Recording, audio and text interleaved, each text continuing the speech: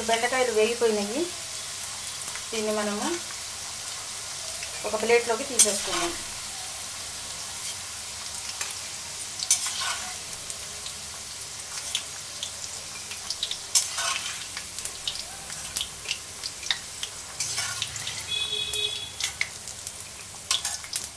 Stove ఆపేసుకుందాము.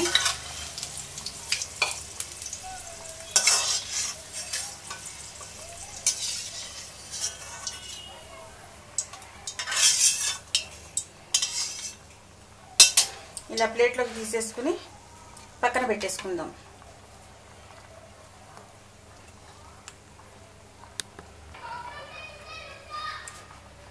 మనము ఒక cup కందిపప్పు ఒక నాలుగు నిలువుగా తరిగిన పచ్చిమిర్చి కలిపి ఉడికిస్తున్నాం కదా. ఇప్పుడు ఒక పావు కేజీ బెండకాయలు నూనెలో ఫ్రై చేసి పెట్టుకున్నాము. ఇప్పుడు ఈ పప్పు ఉడకగానే ఈ ముక్కలు ఇందులో వేసేస్తాము.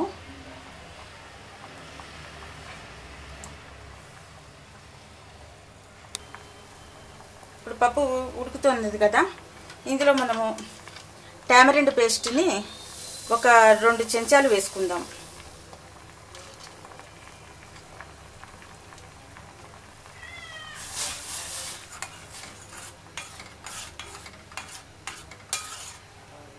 సగం పైగా ఉడికిన తర్వాత పప్పు అప్పుడు మనం టామరెంట్ పేస్ట్ వేయాలి.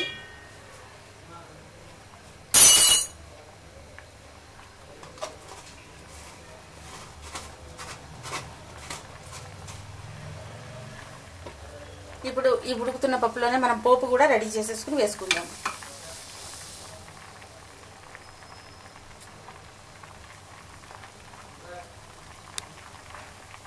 ఇప్పుడు ఈ పాత్రని మనం స్టవ్ మీద పెట్టుకుని దీంట్లో కొద్దిగా నూనె వేసుకుందాము.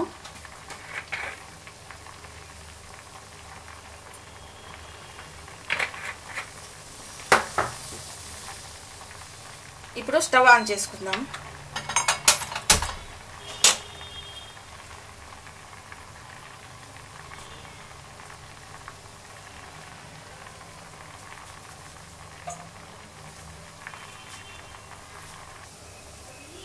ఇప్పుడు ఇందులో మనం కొద్దిగా ఫస్ట్ ఇంకో పౌడర్ వేద్దాం.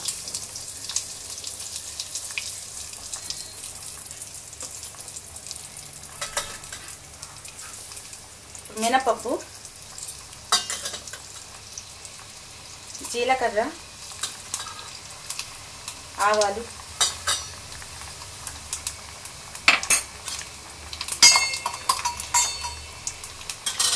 చిన్న చిన్న మిరపకాయలు వేద్దాం. స్టవ్ ఆపేసేద్దాం.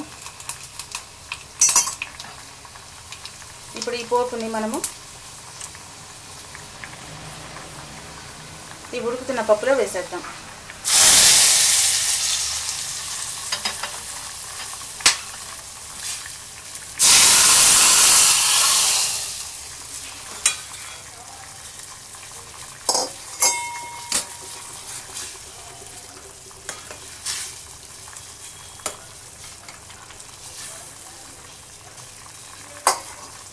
ఇప్పుడు మనం ఇందులో పోపు వేసేసాము తాలింపు వేసేసాము చింతపండు రసం కూడా వేసేసాము.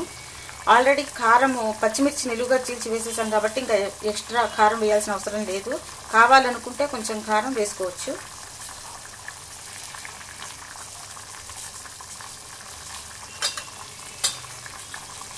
ఇప్పుడు ఇందులో కొద్దిగా పసుపు ఒక చిటికడు పసుపు వేద్దాము.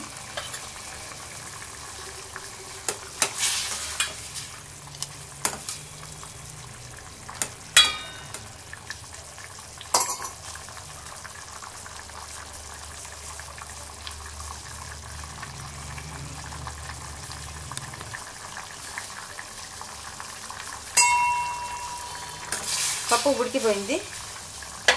ఇప్పుడు మనము ఈ బెండకాయ ముక్కలను ఈ పప్పులో వేసేసుకుందాం.